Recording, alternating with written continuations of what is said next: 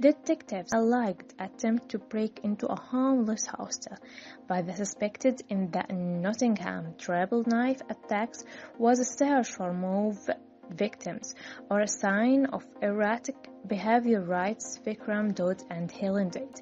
The investigation into Tuesday attacks which killed three people has established that the suspected arrested had a history of mental health issues and was previously known to police. Multiple sources have told The Guardian.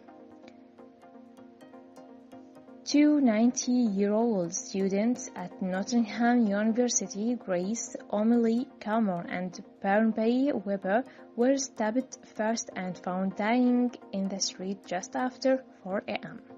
Footage unearthed on Wednesday shows a man killed in black and with a dog, matching a suspected for the attacks, attempting to break into a hostel through an open window.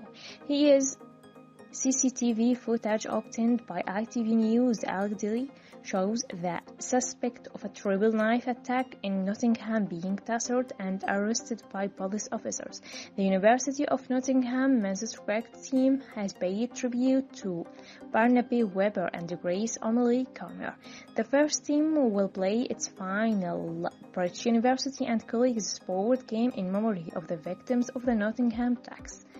The team and their opponent will wear black tape to pay their respect and hold a two-minute silence before Head Sky News reported. Olya Chaplin, who plays on the team, said no words can be used to describe them. They were incredible people. Barney, I think we can agree for those who know him was one of the nicest guys you will ever meet.